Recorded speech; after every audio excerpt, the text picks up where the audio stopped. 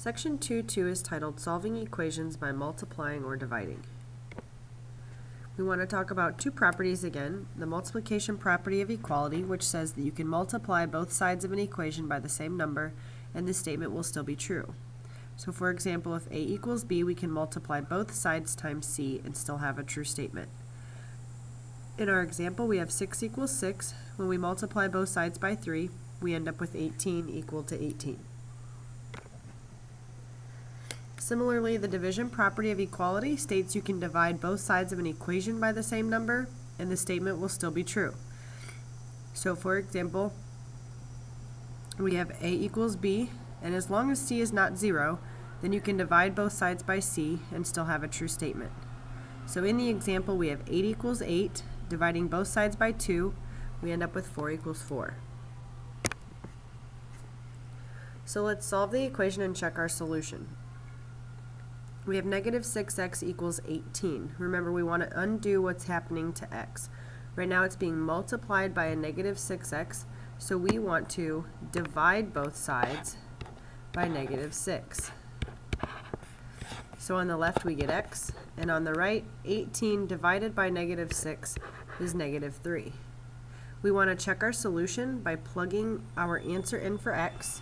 So negative 6 times negative 3 does that equal 18? And in fact, it is 18. So the left side equals the right side. Our answer checks out. That's how we know it's correct. Number two, 1.2c equals negative 1.44. So we need to divide both sides by 1.2 to get c by itself. And here you can use a calculator Although if you know that 100 and, what 144 divided by 12 is, you should be able to get this. But negative 1.44 divided by 1.2 is a negative 1.2. And again, we want to check our solution, so we're going to take 1.2 times negative 1.2, because that's what we got for C. Does it equal negative 1.44? Well, negative 1.2 times 1.2 is a negative 1.44. So our answer checks out. We have a true statement, so we know we're correct. Again, when solving equations, there's really no excuse to get it wrong because you can always plug your answer back into check. A couple more examples if you'd like to pause the video here and try these on your own. I'm not going to check the solution on these two, but you should be checking. So we need to divide by negative 5 on both sides, and we get that t equals 3 we need to divide by 4 on both sides. And we get y equals 9 over 4. This does not reduce, and remember you do not have to change it to a mixed number, so you can leave it as 9 over 4. Hopefully you got both of those right, and if you didn't, you can see where you went wrong. Now let's look at sum with division. We have n divided by 7 equals negative 1.2. Remember, we always want to undo what's being done to the variable. Right now it's being divided by 7. The opposite of division is multiplication. So we need to multiply both sides by 7. Those 7's cancel, and we get n equals negative 1.2 times 7 is negative 8.4. And you check your answer by plugging negative 8.4 in for n and dividing it by 7 and that should equal a negative 1.2. If you check it in a calculator or do it longhand, you do in fact get negative 1.2 equal to negative 1.2, so our answer checks out. Number 6 is very similar. We have 5 equals y divided by negative 6. So we want to multiply both sides by a negative 6. So we get negative 30 equals y. And if we want to check our answer, we plug the negative 30 in for y and see if we get both sides equal to one another. So we have 5 equals. Negative 30 divided by negative 6 is a positive 5, so our answer checks out. Okay, number seven is a little different. Um, it's multiplication. The z is being multiplied by a negative 9 over 4. So what we need to do is divide by a negative 9 over 4. Remember, you just undo whatever's being done. Now, on the right-hand side, I'm going to draw the division line and write negative 9 over 4. But I'm going to remember that dividing by a fraction is the same as what? And you should be saying dividing by a fraction is the same as multiplying by a reciprocal. So on the left-hand side, we get z because the division of the fraction cancels. And on the right-hand side, we have 10 times negative 4 over 9. Remember, I had to flip the fraction in order to multiply. So we get that z is equal to, I can't do any canceling here if I put 10 over 1. 10 and 9 don't cancel, 4 and 1 don't cancel. I need to remember I have a positive times a negative, so my answer is going to be negative 40 over 9. now, you can change that to a mixed number, or you can leave it as an improper fraction.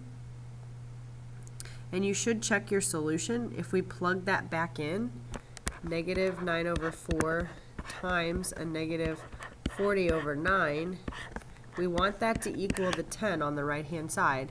You see the 9's cancel, 4 goes into 40 10 times. A negative times a negative is a positive, so we get that 10 equals 10. Number 8, we have negative 6x equals 1 fourth. So we want to divide by a negative 6. We're trying to get the x by itself. So we have x equals 1 fourth divided by a negative 6.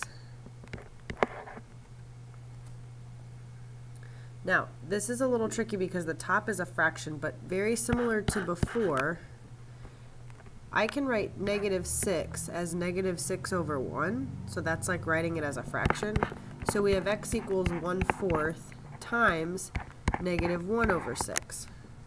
Remember, dividing by a fraction is the same as multiplying by the reciprocal. So this gives us x equals negative 1 over 24.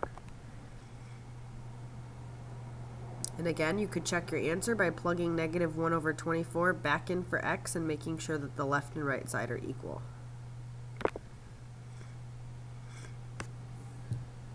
This one's similar, but it's just written a little bit differently. Whenever the variable is up in the numerator, you can actually still write this 2 fifths d equals 3 over 2.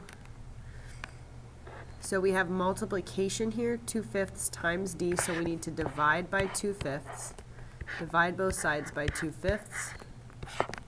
So we get that d equals 3 over 2, and remember dividing by a fraction is the same as multiplying by the reciprocal.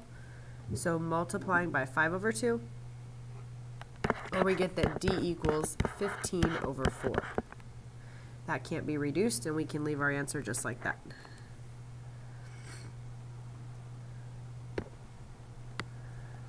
So let's look at a word problem. We have a store that sells 12 foot boards for $4.80 each. What's the cost per foot? We need to write and solve an equation to describe the situation. So we have 12 foot boards that are 480 a piece and we need the cost per foot. Hopefully what you're seeing is that we need to do some division here. So if we take 4.80 divided by 12, that should give us the cost per foot.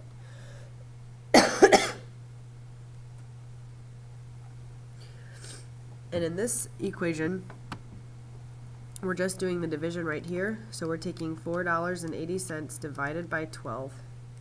And that gives a cost of 40 cents per board or per foot. Another way you could have written it is if the boards cost $4.80 each, we want to know that's 12 feet because they're 12 foot boards times the cost per foot. Now if you solve that problem, you would solve it the exact same way you would end up with a division problem and you would get that the cost is 40 cents. In class, we'll work on worksheet 2-2 um, and that concludes this lesson.